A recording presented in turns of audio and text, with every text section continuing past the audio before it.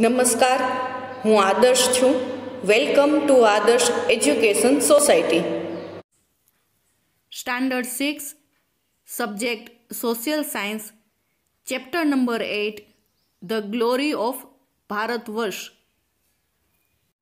Now, next topic is heritage in education.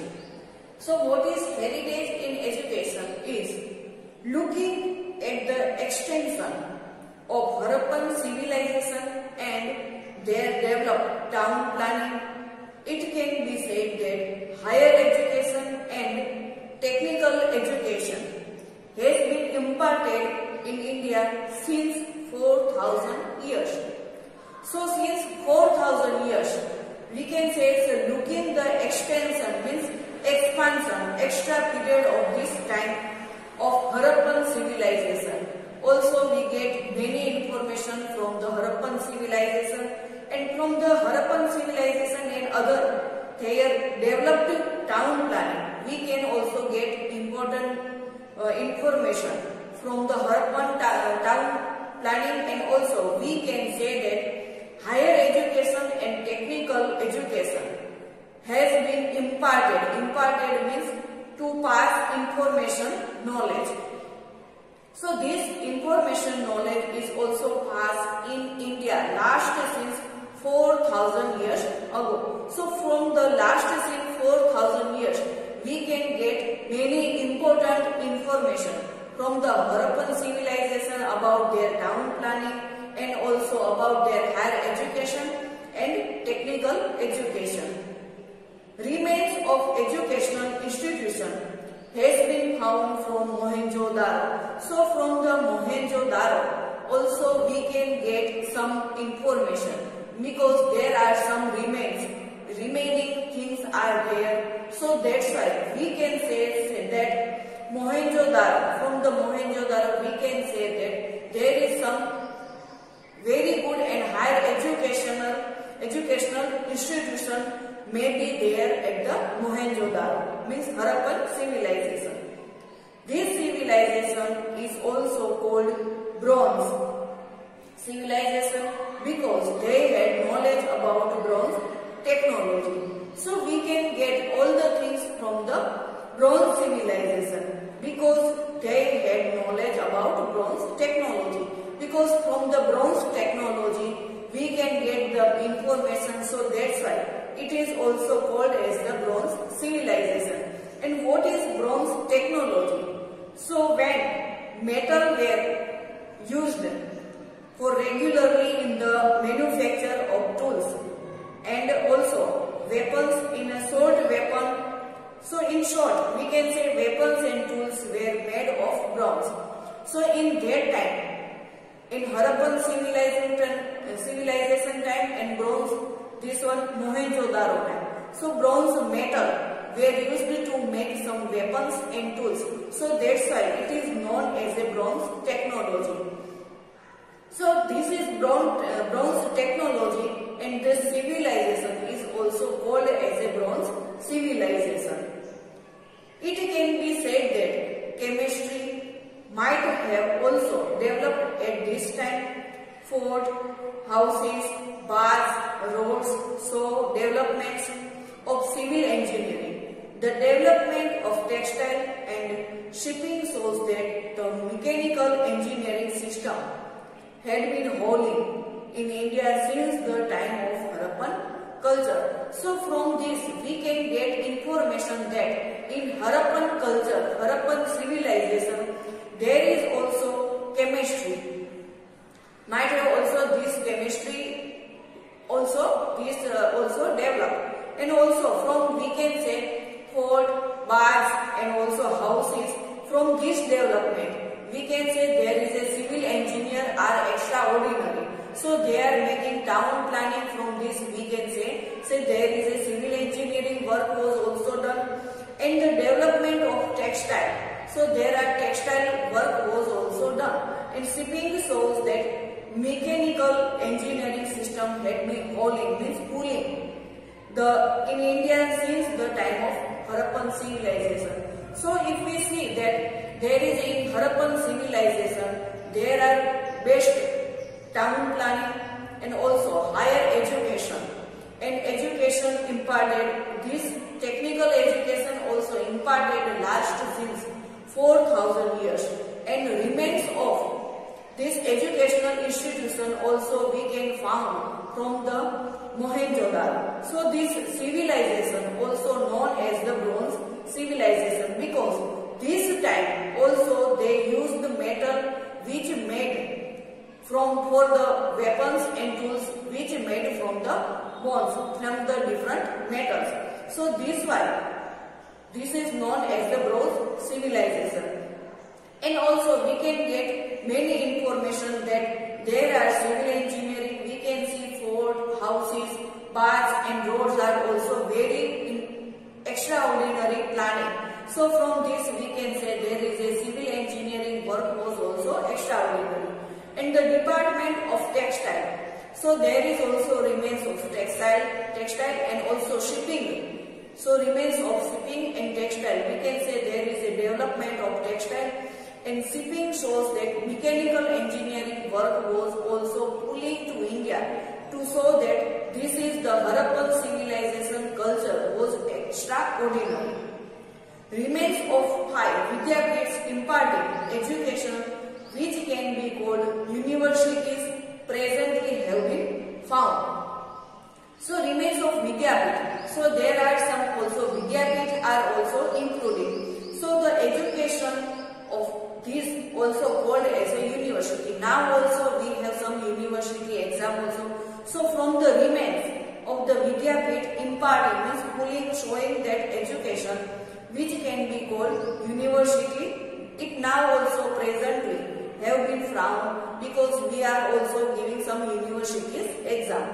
Taxila near Gandhar region in northwestern India was a great educational pilgrim age. It taught ethics. Ethics means regarding belief about what is the normally correct or acceptable. So that one is known as ethics, Sanskrit, grammar, astronomy and astrology, Hinduism and philosophy. Great philosopher and rulers like Panini, Chanakya, Chandragupta, Jivak had become renowned from this educational institution. So from the institution which are Vidyapit are also imparting about the education regarding university and also we have also present it now. But Taxila, it is near to Gandhar. It is on northwestern India. So this great educational pilgrimage also taught us ethics. Ethics means belief about the what is acceptable grammar, so English grammar, Gujarati grammar, Hindi grammar, astronomy means scientific study of the sun, moon, star, etc. That one is known as astronomy and astrology. What is astrology? The study of the position and the movement of the star and planets of and what is the effect on human bodies. So Hinduism and philosophy also great philosopher who are the best philosopher? Ruler like Panini, Chanakya was also a great philosopher and ruler and Chandragupta Jivak and had also become renowned means highly giving more important and more honor, giving respect to them from this educational institution. One such educational institution in Bihar was known as a Nalanda University or Nalanda Vidyapit.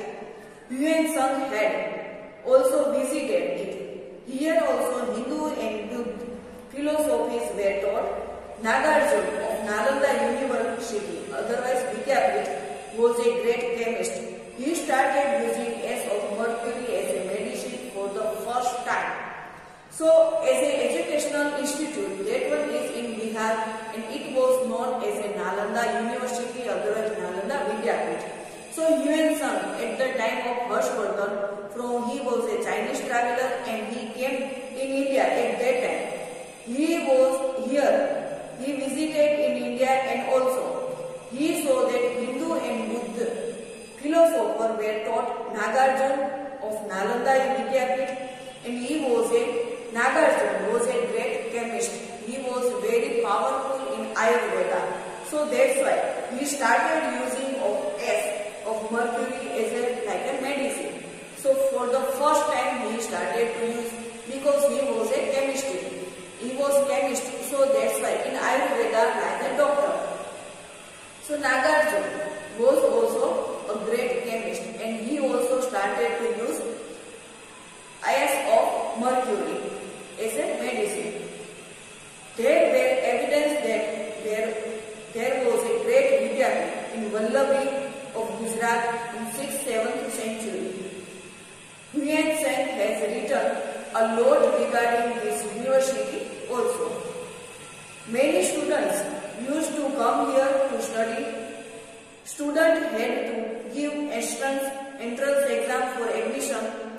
the principals would then take a written examination and later they had used to send student for interview.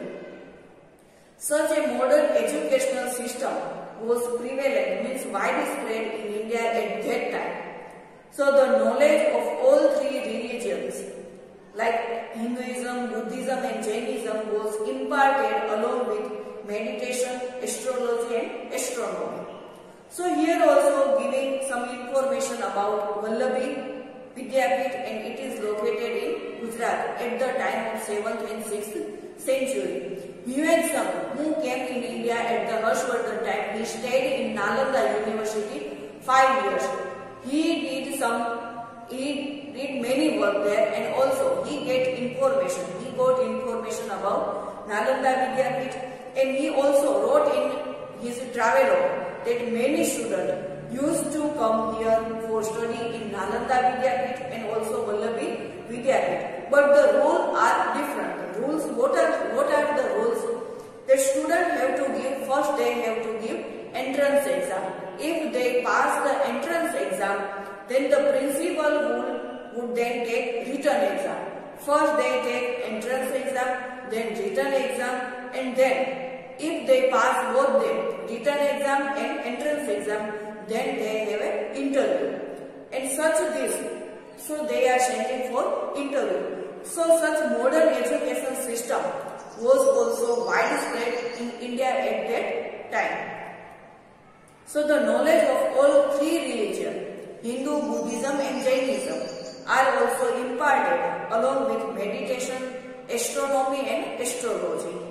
In Bengal, two Vidyapith means two university excited, namely Vikramshila and Anandpuri, where a large three-story library of Buddhism was built. So in Bengal also there is a one library, Buddhist library was built and that name was Vikramshila and Anandpuri. It was known as as a Buddhist and also it was built at that time and it has a three story.